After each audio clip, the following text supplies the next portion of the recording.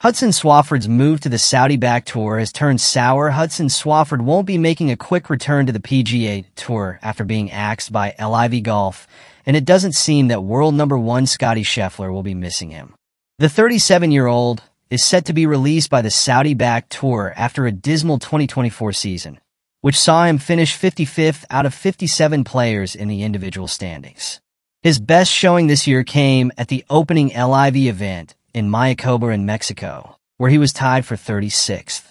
Swafford had been handed a wild card for the campaign after missing most of 2023 following hip surgery, meaning he should have been exempt from relegation from Greg Norman's venture, however. It seems LIV bosses will not be renewing his contract regardless. The American, who played in the inaugural LIV event at Centurion in June 2022, has since made a total of 1.73 million pounds from 19 Rebel tournaments. But his defection two years ago meant an indefinite suspension from the PGA Tour.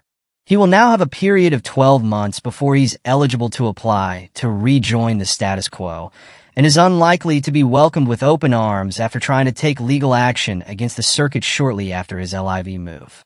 Swafford was one of three U.S. professionals alongside Tyler Gooch and Matt Jones who went to court in a bid to get their PGA Tour bans overturned so they could compete in the lucrative FedEx Cup playoffs. A district judge turned down their appeal, which led to a scathing assessment of the trio from Scheffler. It's one of those deals where those guys kind of made their decision to go join another tour, and they broke the rules and regulations of our tour, he said. Now they're trying to sue us.